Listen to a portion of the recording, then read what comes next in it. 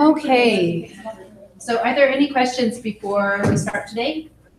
Last lecture, we're gonna be going over some stuff that you can use on your essay questions for today, or today for the midterm, which is on Monday, nine to eleven. I think I got the date wrong on the preview sheet. Uh-uh, you said it was.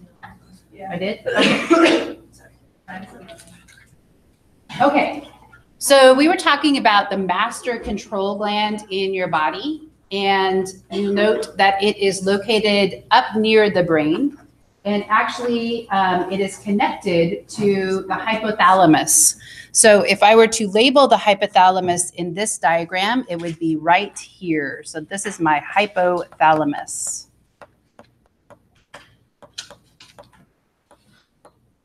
So that means under the thalamus. We also have a connection between the pituitary gland and the um, hypothalamus, which is called the infundibulum. So this connection right here is my infundibulum. So you might remember that from your um, dissection of the sheep's heart, not the sheep's heart, excuse me, of the sheep's brain. And you might remember it um, from your list of terms for the first lab practical. So is this the anterior or posterior pituitary? Anterior means what? In front, right? So it's not superior or inferior. So it's in front. So is this in front? No. Okay. So this is my posterior pituitary.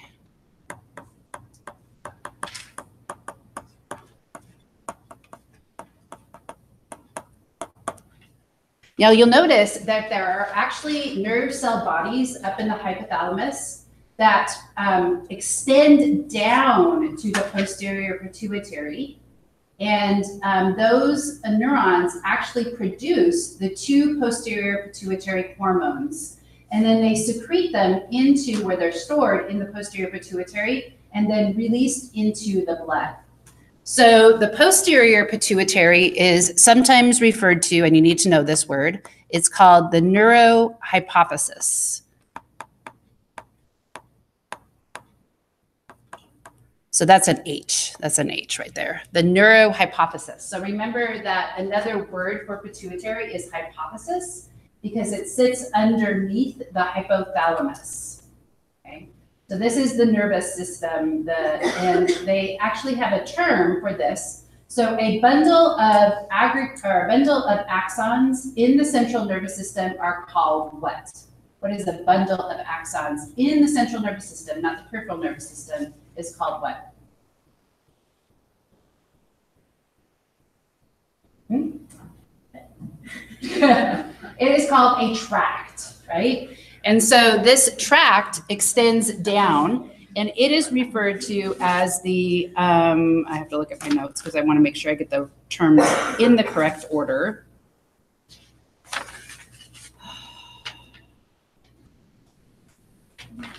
So it's the hypothalamic hypophyseal tract. So this is my hypothalamic hypophyseal tract. So remember that a tract is a bundle of um, myelinated axons in the central nervous system. In the peripheral nervous system, it's called a nerve, but this is a tract. And so that's what that part is. And it shows the lines, and those lines are the axons that extend down. So what were the two posterior pituitary hormones that we already talked about? One is called the cuddle hormone, and it is oxytocin, right? That is believed to be really important in making connections between people, also between parent and offspring. So, you know, touching your offspring and massaging them, for example, is really important. They've actually looked at in rats, if the mothers do not um, interact with their offspring, like lick them, then they actually grow up to be much, much more anxious rats as adults. And so oxytocin is really important in the mother offspring, parent offspring, father offspring um, bond, that touching. This is the touch hormone. We also talked about the antidiuretic hormone.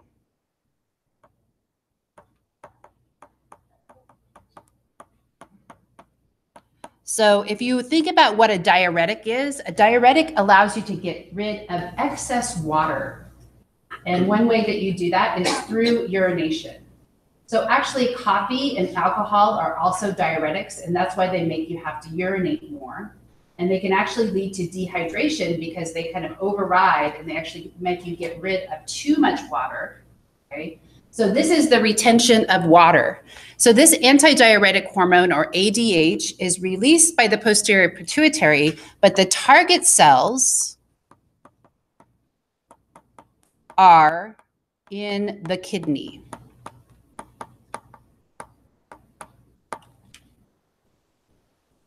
So ADH specifically targets the kidney. Now, it is a protein-based, water-soluble hormone, so the target cells have to have specific receptors for the antidiuretic hormone. So it doesn't influence all of your body cells, just those ones that are in the kidney mainly. That's the main function of it. Okay, so this causes retention of water. Do I have to be on the essay, Christian? On the essay? No.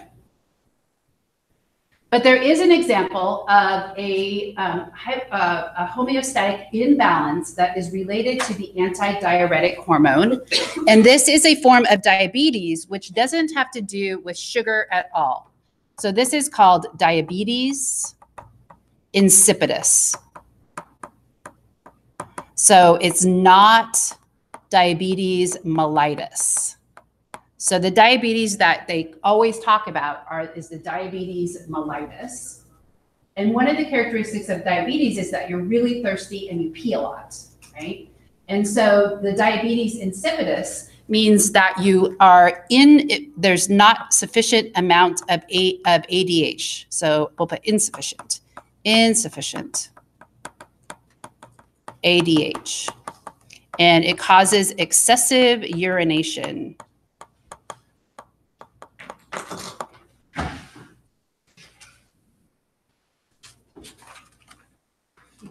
Here's that. I think that we're looking at it. Okay. And so that is just a different type of diabetes that kind of gives the same symptom, but it's not caused from insulin or excessive amounts of sugar or the inability to regulate your blood glucose levels. Okay, so let's look at the next picture. And this is obviously, if it's not the posterior pituitary and it is in the front, this is the anterior pituitary. We'll put anterior. So this is on the back side.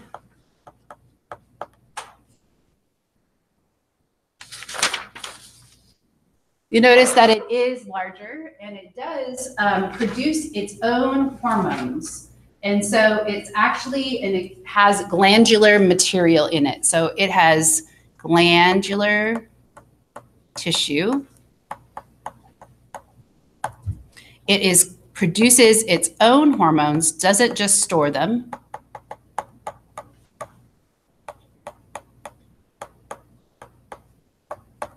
It's called not the neurohypophysis, but the adenohypophysis.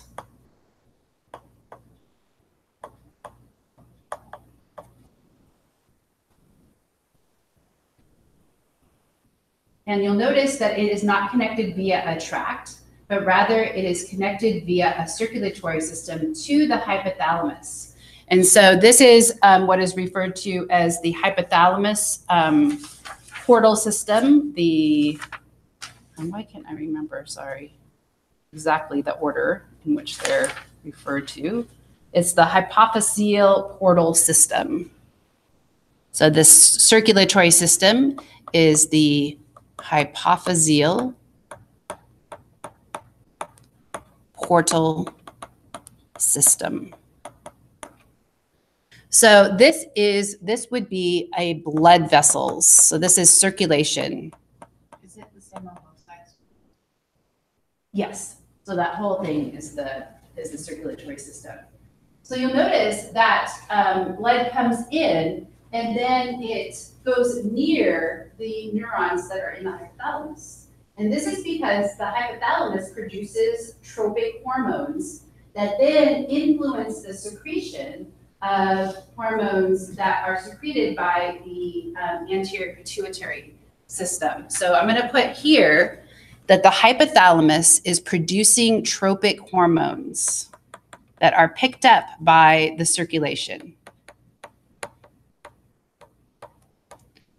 And it doesn't go back to the heart, um, but it goes right to, to the anterior pituitary system, which is why it's called a portal system, because it's going from one place to another.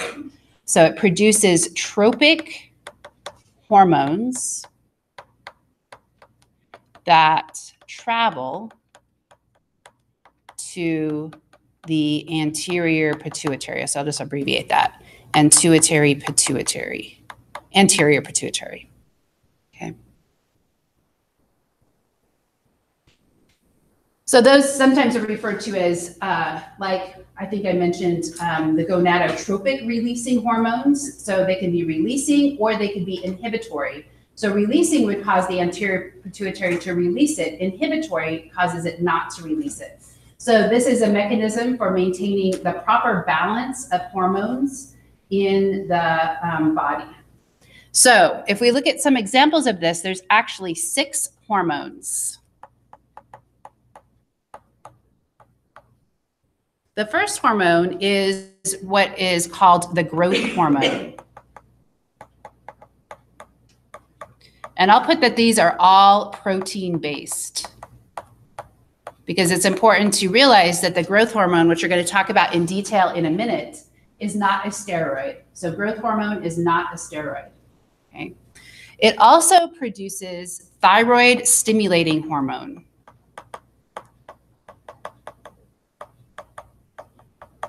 Oops, stimulating hormone.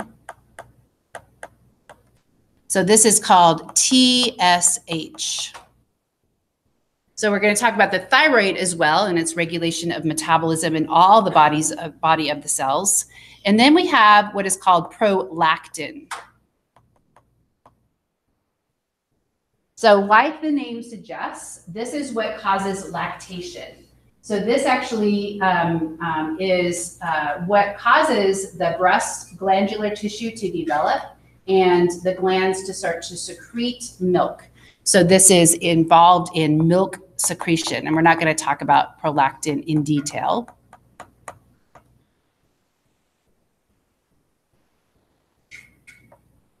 We also have the adenocortico, this is a big one, tropic hormone. cortico, cortico, I forgot now where there, tropic hormone. Oh, stimulating hormone.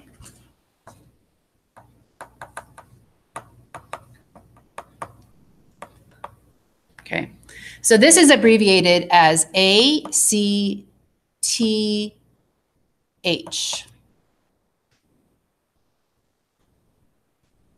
So adenocortico, oh, sorry, adreno, sorry.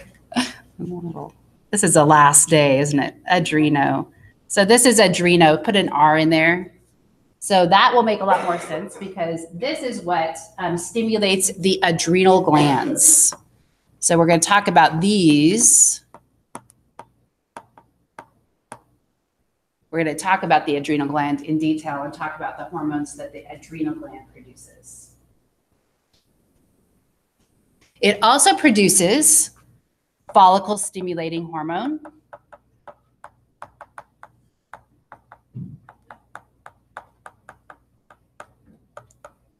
And luteinizing hormone. And we're not going to talk about these in detail. Um, we'll talk about them when we get to reproduction in the third quarter. So these are um, target cells are in the gonads. So our ovaries and testes, which are our gonads, also produce hormones. And they are stimulated by hormones that are produced by the anterior pituitary. So they're produced, they're secreted, and then they go out into the circulation, but the only target is in the ovaries and the testes. Okay, so those are the six hormones that you need to be aware of that are um, produced and are called anterior pituitary hormones. Okay, so we're going to talk about the um, growth hormone in detail. So I'm going to put that this is not a steroid, but is an anabolic hormone. So when you, t- when you talk about anabolic hormones, what do you generally think of? Uh, Sorry. yeah, big muscles, right? So this is what causes muscle tissue to grow. And so this causes cells to increase in size.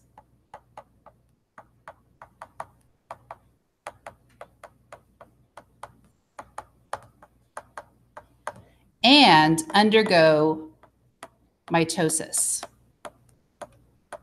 So it increases the size of the cells, but also causes them to divide, so you get more cells. So this is actually um, uh, they, there's targets on almost all of your body cells. So your body cells kind of all respond to growth hormone, but primarily we know their effects um, on the skeletal muscle. So we'll put primary targets is in the skeletal muscle where it can increase muscle mass and in bone growth.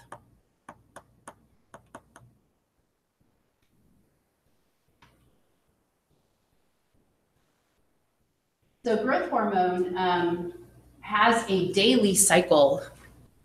So it is actually at its highly highest in the um, uh, cycle in, at night. So at highest at night. Is that why kids get um, growing pains? Yes. Yep. So when kids are asleep and they, my legs used to ache so bad. I would cry, I would get crying at night because my joints would hurt so bad. And that's because um, that growth hormone is, is really high, at least at night. And this is actually, this uh, daily cycle is controlled by the hypothalamus because the hypothalamus produces a growth hormone stimulating or releasing hormone and a growth hormone inhibiting hormone. And so the overall cycle is actually regulated by tropic hormones that are secreted by the hypothalamus. So we can talk about undersecretion.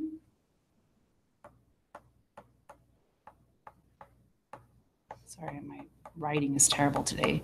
Undersecretion. And in growing adults, this, sorry, in growing children, so in children, children actually have more growth hormone and, and young adults that are still growing have about twice as much growth hormone as adults. So in children, this undersecretion leads to short stature, for example. And sometimes the, this can be referred to as pituitary dwarfism. And this can also be due to the fact that your, your, the cells are not responding to the growth hormone that is already being produced. So there actually has been um, some concern um, about the use of growth hormone to increase the size of children. So particularly in countries where um, height is important, say for example for males, but maybe also for females. So if you're a taller individual, you're more likely to get a high-paying job and, and than a short individual. So maybe in um, some of the um, Asian countries, for example, there's been the use of growth hormone to increase the stature of uh, people. Um, so technically, that is is not um, promoted here. Um, growth hormone is actually illegal to use as a non-prescription drug. However, athletes also sometimes use it in order to um, illegally um, gain uh, an advantage to to the to to competition. Okay. So in adults, the undersecretion is seems to be linked to osteoporosis.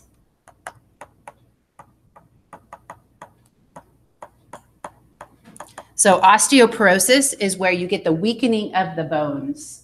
And so the doesn't um, one of the things that growth hormone um, causes is cells to take in calcium and the deposition of calcium in the bones.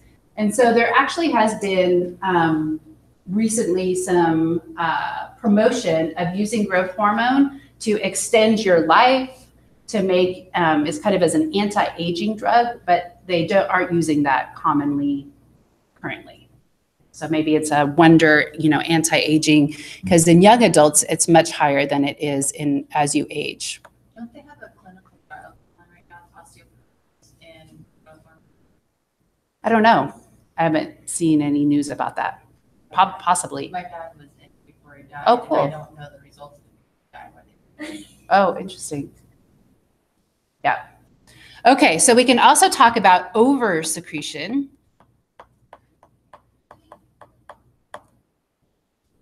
And one of the things in children, if it happens in children, then you can get gigantism. Right? So these are the very big people.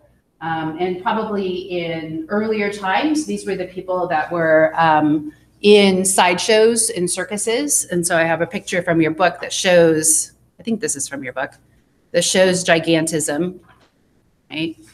So this would be a, the woman is a normally sized person, and then that would be the person that had an excessive amount of growth hormone that could be due to a tumor in the pituitary gland that might produce too much growth hormone. And then you have the person, I, I believe in this diagram, does it say is the, is the short person one that doesn't have enough growth hormone? Yeah. Yeah, he's got the pituitary dwarfism. Okay. Okay. So in adults, if you have hypersecretion in adults, um, this can cause a syndrome which is called acromegalia, or megaly, acromegaly, and that's an E. And this actually causes um, jaw, fingers, and toes to become larger. So most of your bones have stopped growing. So if for some reason you get a pitu- uh, tumor in your pituitary and you produce too much um, growth hormone, then um, you could um, uh, get your jaw, your face kind of becomes disfigured, and your fingers and toes will keep growing. Now, this um, drug is also, or not this drug, but this hormone also influences glucose levels.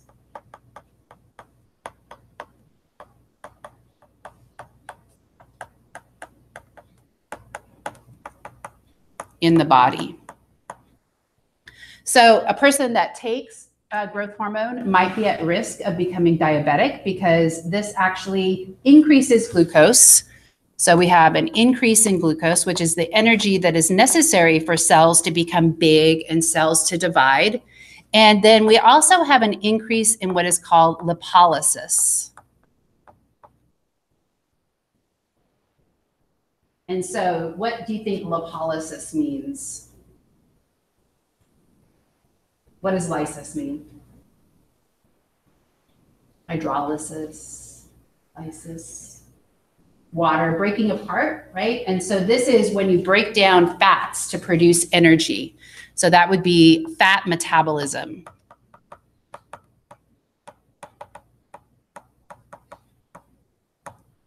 Okay, so that's lipolysis. Okay, um, so the interesting thing is, is that they do give growth hormone to cows. And so you can talk about um, bovine growth hormone.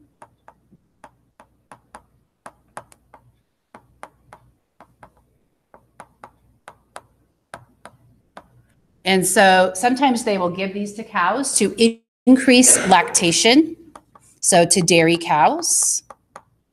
And then if they're raising steers and trying to get more muscle mass, then this also increases muscle mass. So sometimes you can see, you see uh, uh, that the growth hormone free milk, for example, or that this, this uh, beef, this um, meat was um, produced without hormones. And that is primarily what they're talking about.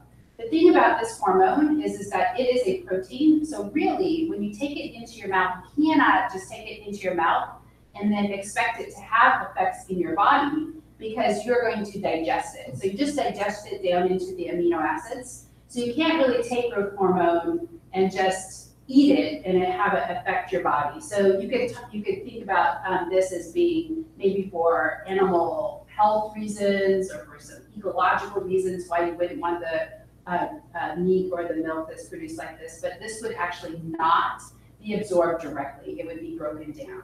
Right? So it's not going to influence your levels of human growth hormone by taking bovine growth hormone.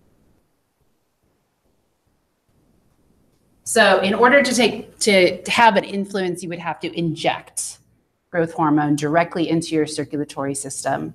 And that would go for the synthetic growth hormones that they actually use to treat um, hyper, um, uh, or excuse me, hypo levels of growth hormone in the body. Okay.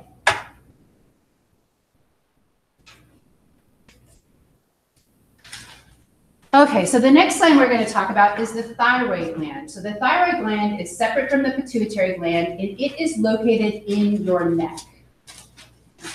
So the thyroid gland is in the neck region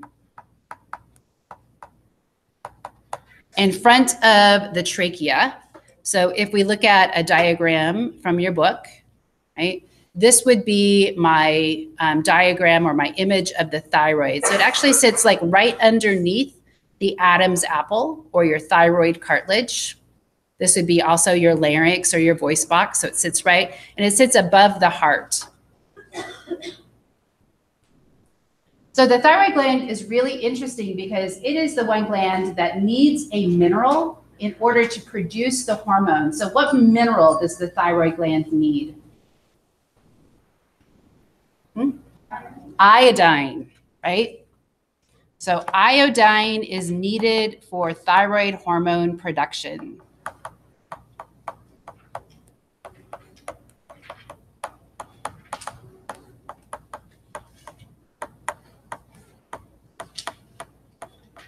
So there's certain vegetables that have iodine in them, and it's also very um, common in seafood. You can get lots of iodine in seafood. But in order to, to assure that we are getting enough iodine, what have we added to it in our diet? Salt. So we have iodinized salt.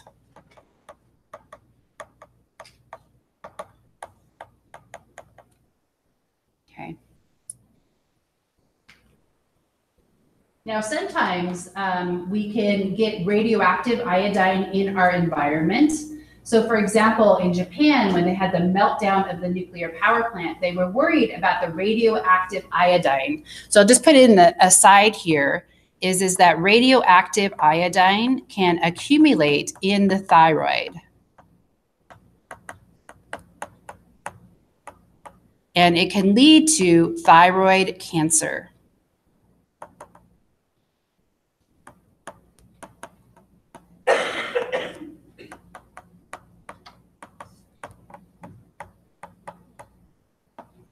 So even on the Pacific coast, they were talking about people buying iodine because one of the things that you could do is you could take a bunch of iodine before the radioactive iodine gets into your environment and store it up so that your, your thyroid gland would be less likely to, um, to um, absorb the radioactive iodine, so you're less likely to get thyroid cancer. So when they talk about taking iodine supplements, uh, during a nuclear um, disaster, that is what they're referring to.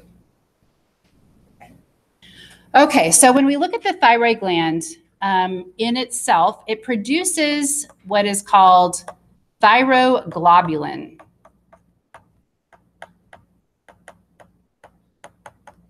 So globulin refers to the fact that this is a globular protein.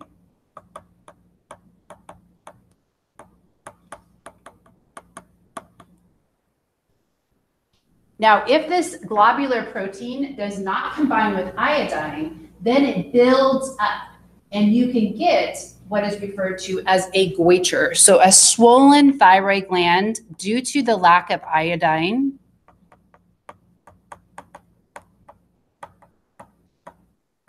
So this is due to iodine deficiency. Causes a goiter. So this is a swelling of the thyroid gland and it's a big swelling of the neck. That's a G, not a Q, goiter. So if we look at an image of this from your book, there's a child that is um, iodine deficient and you can see that his thyroid gland is swelling up. So this might have really been common in countries where you don't have the necessary nutrients. Um, you're not taking and eating the necessary um, uh, vegetables or animals that have or that are high in iodine. So all you would have to do for this person is give them an iodine supplement, and then that thyroglobulin would cease to be produced, and it would be secreted um, in, as a thyroid hormone. So the two thyroid hormones are actually T3 and T4. So T3 is called triiodo um, thyroidine. Do I have that written down? Sorry. Triiodo thyronine. Triiodo thyronine.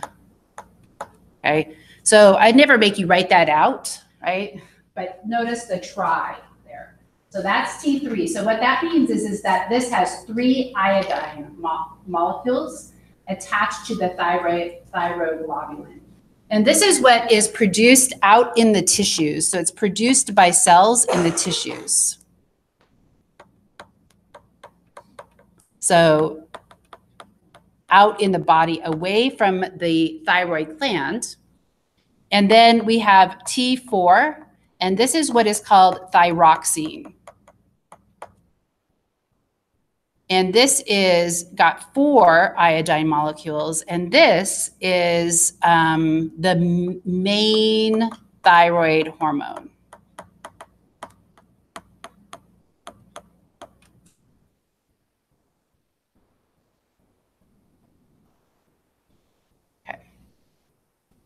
So if we were to look at a picture of this going on inside of the cells, it would look something like this.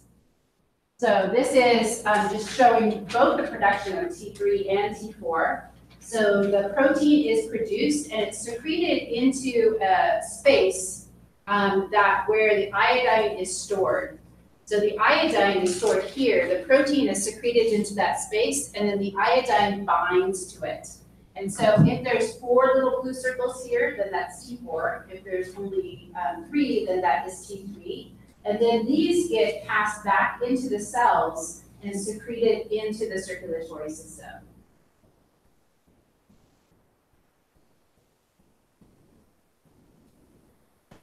Okay. So the function of the thyroid hormone is, is that this boosts metabolism in almost all of your body cells. So metabolism is the production of proteins, but it's also the breaking apart. So it just speeds up the chemical reactions.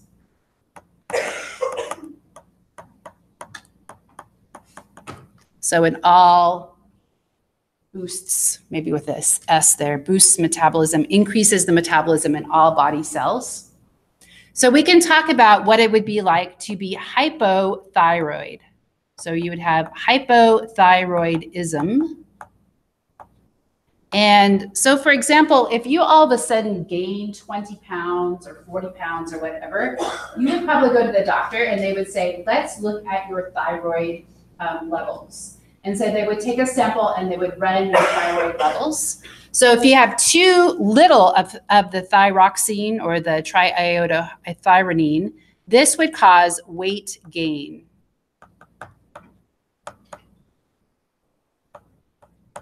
You would feel cold. So kind of cold and clammy, right? And you would not have a lot of energy. So low energy.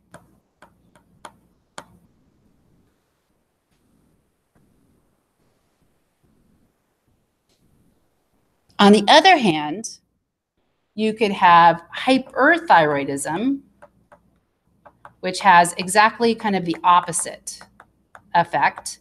So you'd have weight loss. You would be hot, so you would in inability to tolerate heat because you'd already be so hot, right? And you tend to be irritable. Right. So hypothyroidism could be due to not enough iodine in your diet, in your diet, but it could just be also due sometimes um, the hypothyroid. Um, there's an example of uh, Hashimoto's um, uh, syn- syndrome that is an example of hypothyroidism where you're just really sluggish. And hyperthyroidism, on the other hand, most likely is due to what is called Graves' disease.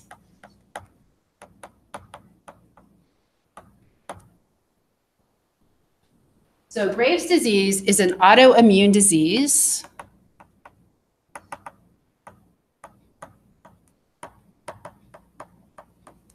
That produces antibodies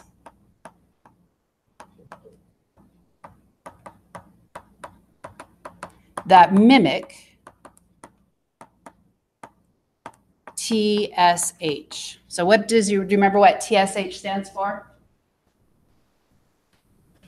T thyroid, S would probably be stimulating, H hormone. Okay. So these are um, the antibodies that are produced actually bind to the pituitary gland and cause the pituitary gland to produce too much thyroxine. And so this speeds up your metabolic rate. And one of the characteristics of this disease tends to be this bulging, these bulging eyes. So in this diagram, they're showing a person that has Graves' disease and their eyes kind of swell up, the tissue behind them swells, swells up and they get these bulging eyes. So one way that you can treat this um, is that you could actually give them radioactive iodine to kill some of the thyroxine producers producing cells. Or you could also um, actually take out the thyroid entirely. And then a person is reliant upon drugs for the rest of their life. They have to take thyroxine and take it in and um, administer it to themselves. So they're actually dependent upon it. So you could destroy the thyroid cells with radioactive iodine. You can remove the, the thyroid.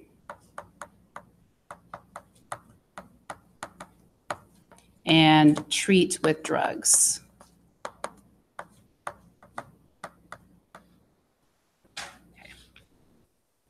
Yes. You can, as long as you're given drugs for it, right? So that's why it's really bad to have your thyroid removed because you're dependent upon medications for the rest of your life to keep your metabolism at the right level. So sometimes when people, you know, have this radioactive iodine, then they have to be isolated or they have to sleep on the couch, not with their spouse when they have the radioactive iodine. This actually is really common in cats, Graves' diseases. And so um, they could, they treat the cats the same way. They can either give them a, cut their thyroid out, give them radioactive iodine, or um, generally it's in old cats. So they're, they just give them drugs to kind of treat the effects of it. Hyper, hyper, so that means that there's too much thyroid hormone in the body. Question, or Yep. not really a question, more of a statement. Um, Yep. I actually have a slightly enlarged thyroid, Mm-hmm. um, that I have, I was diagnosed with. It's not like, super- So do you have too much thyroid hormone? I, maybe, but I've had it checked recently. Okay, so they just thought, oh, you, that's interesting. How did they detect that you had a large one? I, I can't remember, but Maybe you you have a thick yeah, it's neck kind of or- like, yeah, because my mom also had it too. Yeah. so Can it be passed on like genetically? I don't know. I've never heard of a genetic, but predisposition for large thyroid glands, but possibly. Okay. So one of the things about thyroid hormone is it's really important for the development of neurons. So in children, a lack of thyroid hormone causes a, sim- a syndrome called cretinism. And this specifically affects the development of the nervous system. And so these people have um, developmental uh, disabilities, right? So this is in the nervous system, but also in the body wide. So lack of proper development.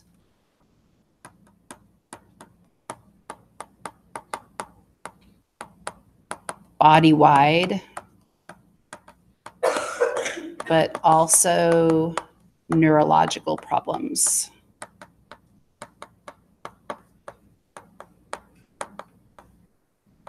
Right, so lack of thyroid hor- hormone, that would be hypothyroidism.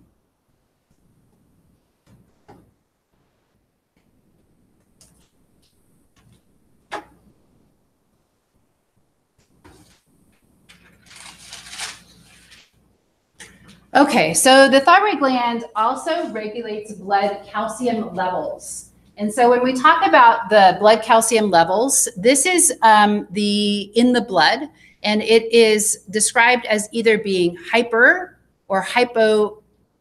uh. So we can talk about hypocalcemic. So this would be low blood calcium levels.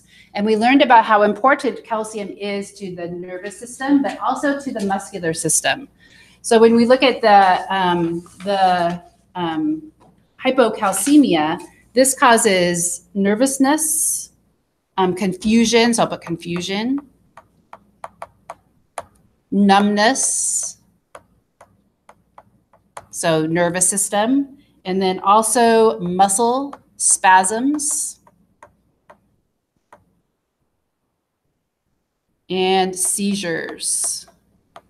It can also lead to a heart attack and death. So cardiac arrest, cardiac arrest, and death.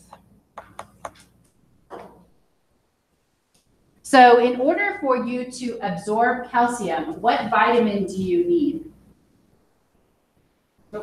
What is added to milk? D, okay? So vitamin D is needed to absorb calcium.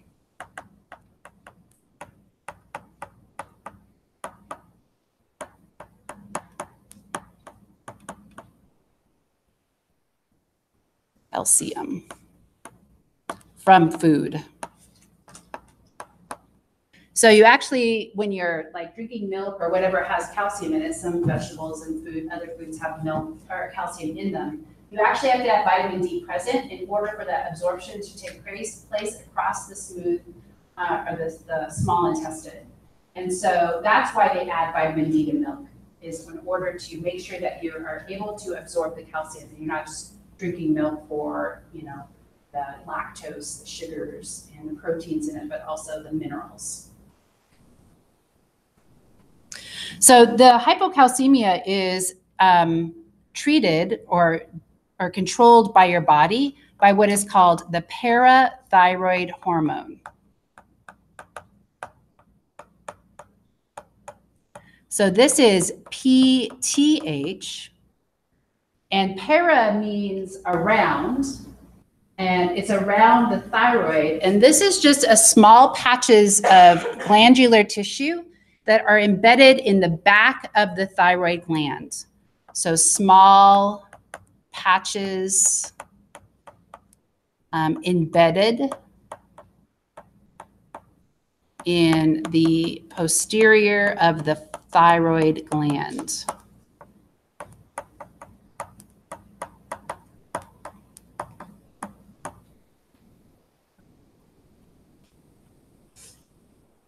So if it is present, it actually causes calcium to be removed from the bone and put into the circulation. So it causes the breakdown of the bone and the release of calcium into the blood.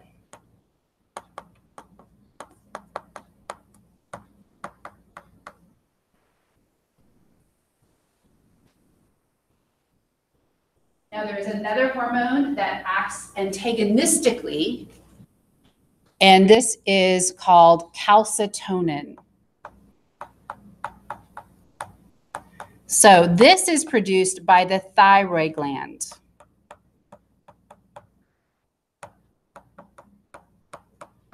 So, it's not a thyroid, it's actually a thyroid hormone, but it's not one of those metaboli- metabolistic hormones. So it's produced by the thyroid gland. And it acts antagonistically, so it decreases blood calcium levels. So it causes calcium to be deposited in the bone. Calcitonin is really important in other animals, but um, your textbook notes that it is not the main hormone for regulating blood calcium levels. The parathyroid hormone is and it might actually serve another function as well. So we don't know. It doesn't seem to be really super important in humans, but um, it does will act antagonistically. Maybe it's because we being hypercalcemic is, is rarer than being hypocalcemic. So in your book, they show this homeostatic balance this is the back. So notice that this is the back of this, this person's neck, right? This is the back of the thyroid gland. And these little patches right here are your parathyroid hormone glands. Here are the parathyroid glands.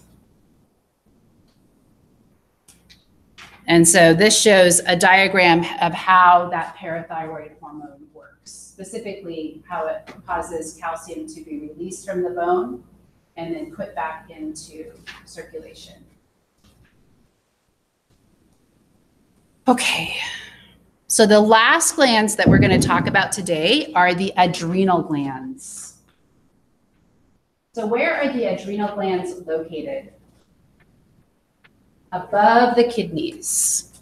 So located superior to the kidneys.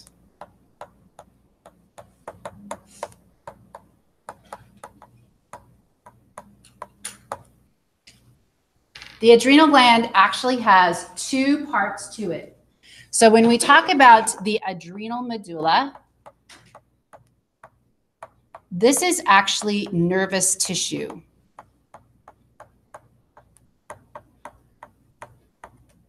It's actually believed to be a misplaced sympathetic ganglia. So we'll put misplaced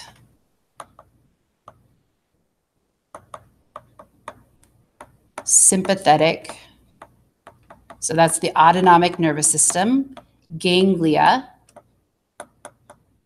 So remember that the sympathetic ganglia are usually near the spinal cord. So this one is out far from the spinal cord and in at the adrenal medulla. So this releases epinephrine and norepinephrine, adrenaline.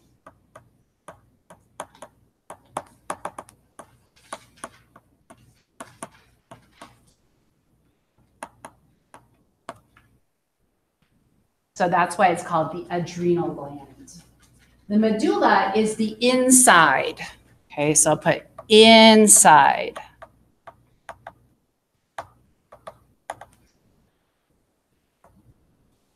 So when we're talking about the glandular part, it is the adrenal cortex.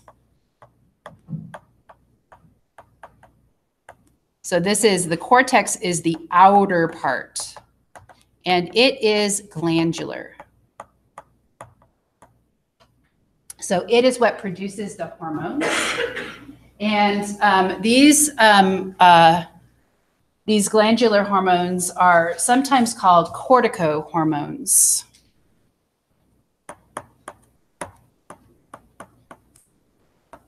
Adrenocortico hormones. So anytime you see this cortico, that means that's referring to the cortex of the adrenal gland. And remember that we talked about this in terms of the pituitary gland because the pituitary gland produces a stimulating gland or hormone that stimulates the adrenal gland. Okay, so the first um, adrenal gland that or hormone that I want to talk about are what is referred to as the mineral corticoids.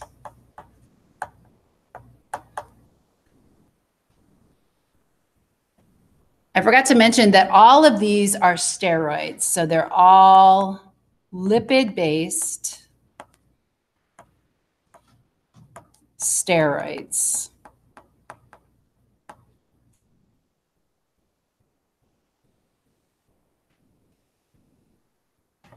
So the example of the mineral corticoid is aldosterone. And we'll talk about aldosterone in detail in 233 next fall because aldosterone affects the kidneys. And so it increases the reuptake of sodium by the kidneys. So that's the idea of the mineral. So the mineral is sodium.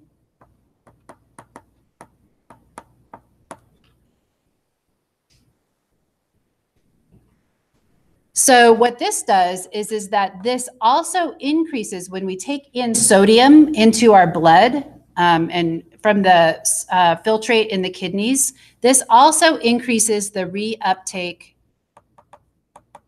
of water because water will just automatically follow sodium via osmosis. So it follows the salt.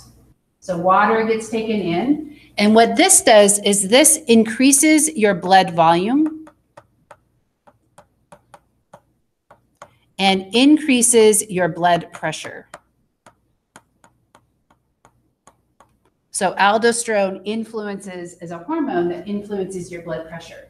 So if your blood pressure is too low, then aldosterone is released. If your blood pressure is not too low or if it's too high, then aldosterone is not released. And so that regulates and has its target on the kidneys. The next type of cortical hormone are the gonadocorticoids. Okay, and so this has to do with the production of estrogen and testosterone. So estrogen and testosterone. So your gonads, your ovary, is not the only thing that produces estrogen, and testes are not the only thing that produces that produce testosterone. So, for example, um, females, um, if you are competitive, or if you're in like a highly competitive environment, or if you're an athlete, you might have higher testosterone levels than typical in females that do not have um, a competitive environment. And males also have estrogen in their body, and it's important in their uh, functioning. And as they get older, their testosterone levels drop, and they have a, a higher level of estrogen. So they just they tend to be older men tend to be less competitive and maybe even a little bit more loving or a little bit more tender, more feminine than younger males. And so these gonadocorticoids are important, right? Is that why men sometimes end up gaining more weight as they get older because testosterone levels drop? And could be too, yeah, and then lose, and we all lose mus- muscle mass. So as you age, you tend to, your muscles tend to shrink up and you, you lose muscle mass. And yeah, so maybe estrogen um, influences weight gain as well in males. And then the last one we're going to talk about is the glucocorticoids. Oops. Corticoids. That's spelled the same way up here, sorry, glucocorticoids. So gluco refers to what? Sugar, okay? So these are, um, these are actually the stress hormones. And they include cortisol and cortisone.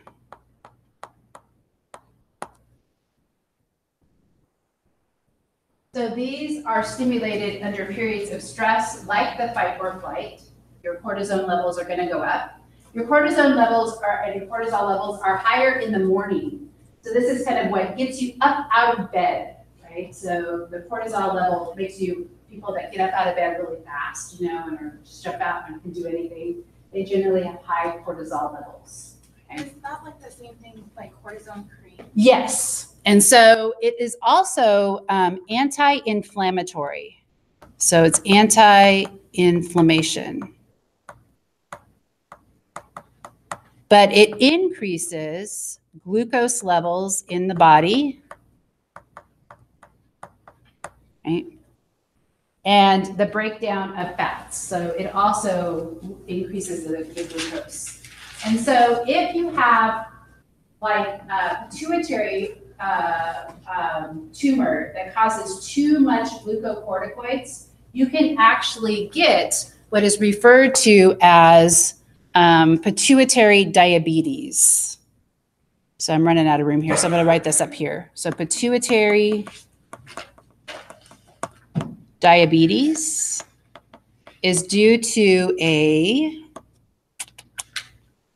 uh, tumor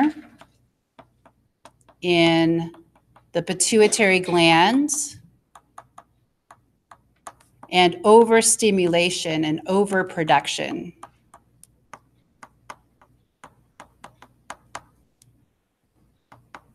of adrenal hormones, specifically the glucocorticoids.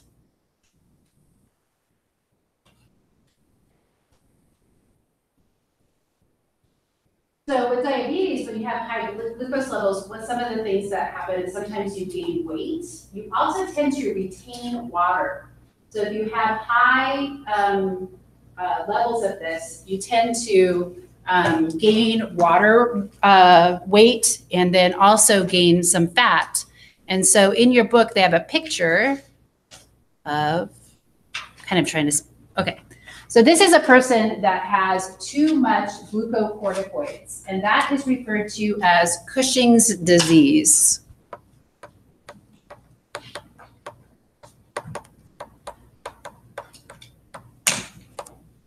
So that's too much glucocorticoids. And so one of the things that happens is, is that um, you can see here that her face has changed shape. It could be due to water retention. And then they also get this what they call a buffalo hump in the back. So this is not bone. This would be deposition of fat. Right? So this is before and after. So she could have had a tumor that caused Cushing's syndrome. And she probably also has problems with regulating her blood glucose levels because of the excess glucocorticoids in her body.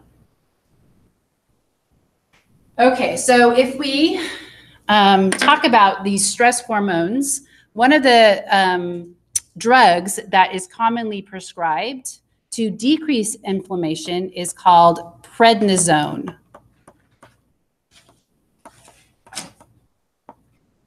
Has anybody ever been on prednisone? Prednisone is used to treat autoimmune diseases. You also sometimes have to go on it if you have a transplant of a tissue or an organ, because this suppresses the immune system.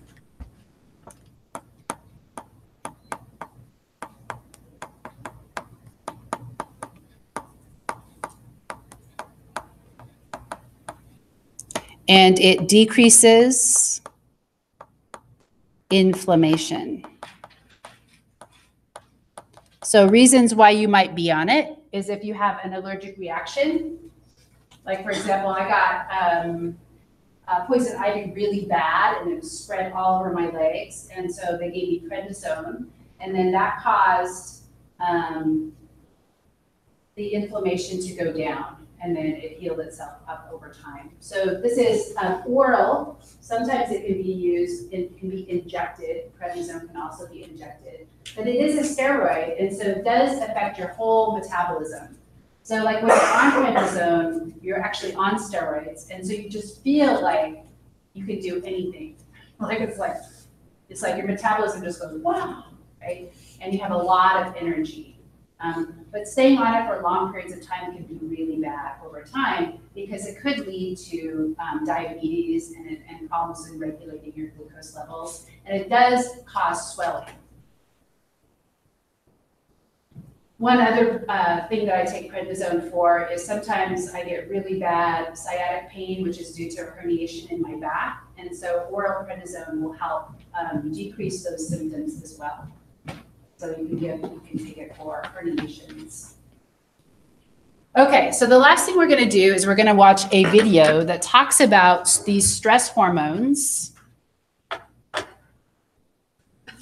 the glucocorticoids, and it's just a little animation.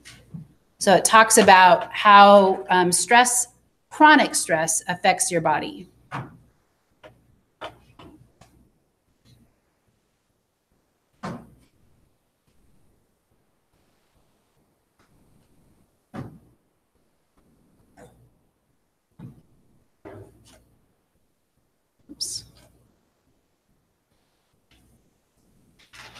Cramming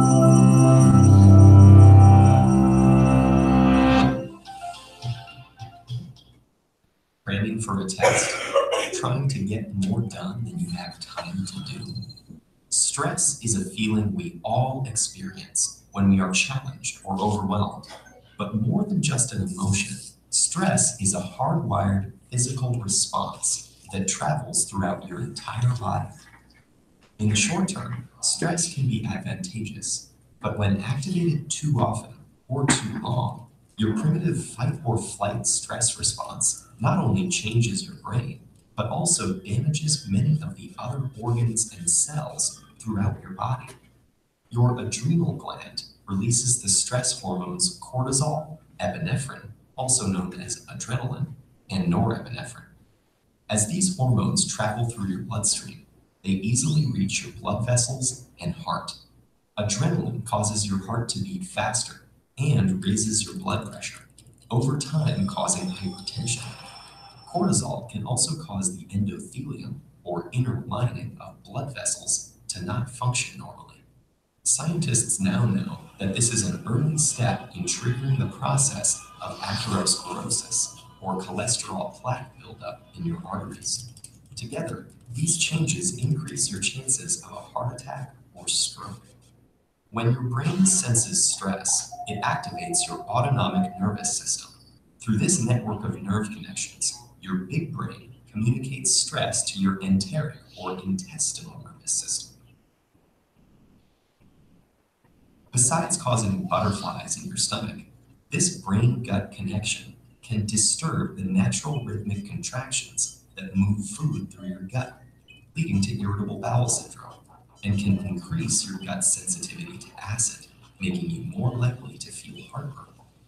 Via the gut's nervous system, stress can also change the composition and function of your gut bacteria, which may affect your digestive and overall health. Speaking of digestion, does chronic stress affect your waistline? Well, yes. Cortisol can increase your appetite.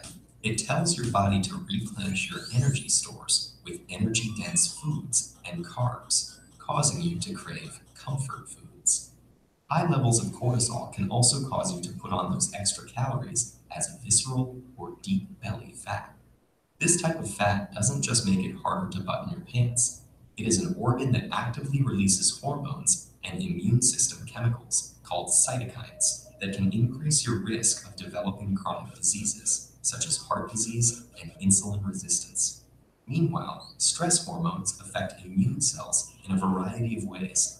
Initially, they help prepare to fight invaders and heal after injury. But chronic stress can dampen the function of some immune cells, making you more susceptible to infections and slow the rate you heal. Want to live a long life?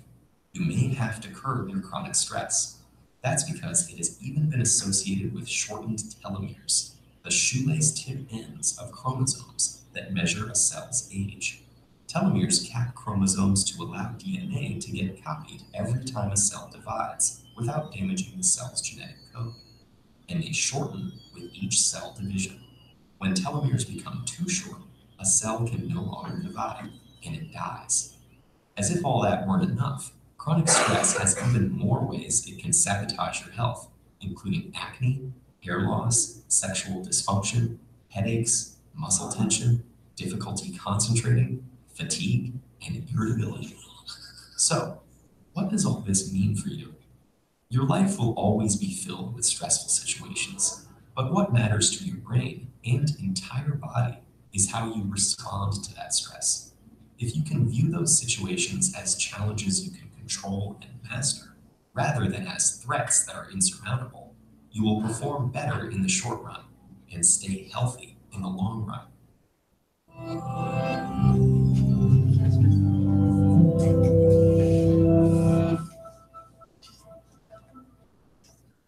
Okay, any questions about that? Nope. Okay, so let's just take a look at the review sheet. Anybody have a copy that I can just glance at for a second?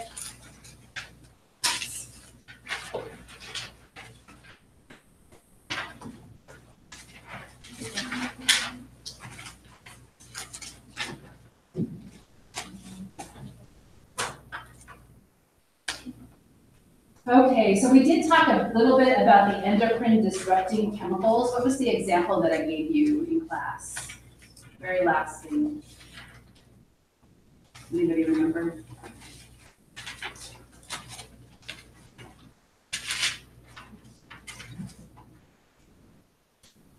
It leaches out of plastic.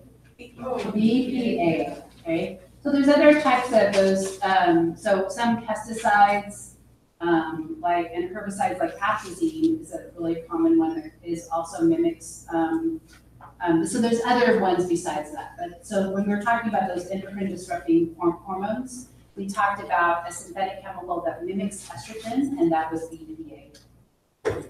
You can, um, cross off the function of the pancreas. We'll talk about that next quarter, next, next quarter, we'll talk about that in two thirty-three, when we talk about um, the digestive system, because the pancreas is a major digestive gland as well. So what is the difference between an endocrine and an exocrine gland? Just one secrete, like Yeah. external environment. So what's an example of an exocrine gland? Yeah, so sweat glands or salivary glands are exocrine. Mammary glands are also exocrine. The endocrine gland is um, that which produces hormones and it secretes it into the circulatory system versus secreting it via a duct. We didn't really talk about motion sickness, so you could scratch that off at the last thing we talked about. Motion sickness is oftentimes when your, what you're seeing does not match what you're feeling in your body.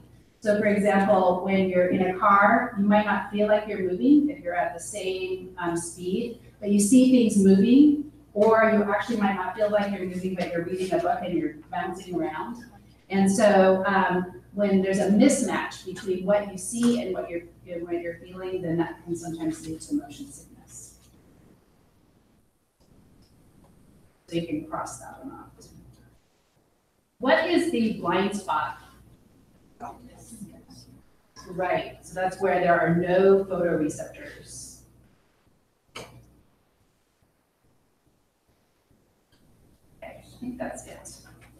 Everything else should be okay on there. Are there any specific questions about the review or the essay questions? Multiple for questions. Okay, so number four. Okay, so the polarization and subsequent contraction of the skeletal muscle cell. Okay, so remember that what is um, the um, neurotransmitter that's released um, and stimulates, what is the neurotransmitter called that is released and stimulates motor neuron, or skeletal muscle, excuse me, skeletal muscles? Acetylcholine, excellent. Okay. So this is number four. Okay. So this would be motor neurons release acetylcholine.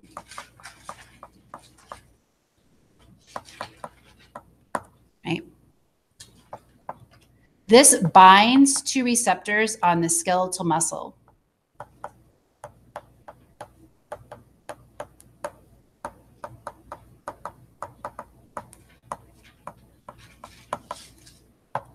Okay.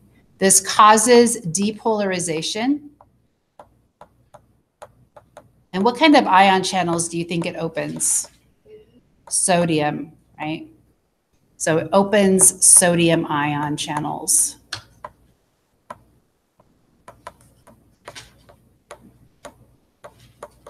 Okay.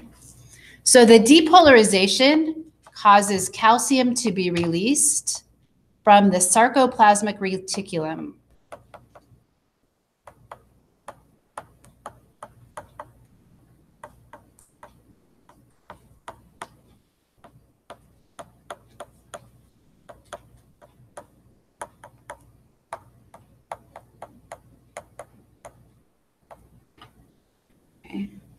So the sarcoplasmic reticulum is a special organelle which is found in the skeletal muscle cells and other muscle cells.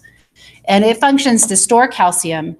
Calcium binds with, does it bind with troponin or tropomyosin? Troponin. So it binds to troponin. Troponin is the smaller molecule this causes tropomyosin to move. So it changes shape. So it causes tropomyosin to move and expose binding sites for the myosin heads.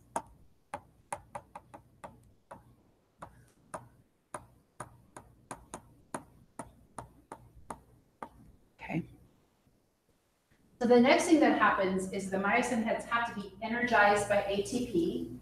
They bind to the actin, and then you have the filaments sliding together, and the sarcomere shortens.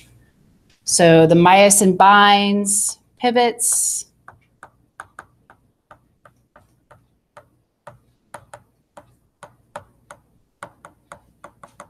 And the sarcomere shortens.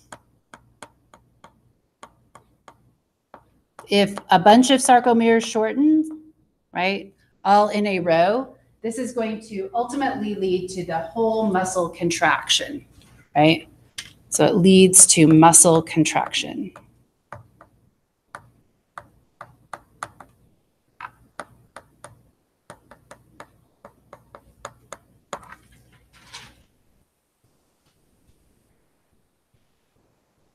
I think that pretty much answers that question.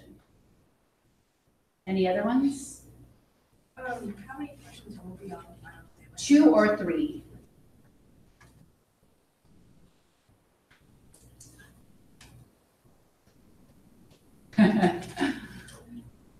Okay, so I will see you on Friday at 11 for your lab practical on the muscles, the eye, and the ear. Don't forget that those uh, models are in the library if you want to review them. Will our grant completed be graded? They were not going to be graded, but they could be on the lab practical. You are going to turn in your lab notebook when you uh, turn in your final or when you come for the final exam. So you'll turn in, you'll have your lab notebook to study for the final exam on Monday. It's good. It would.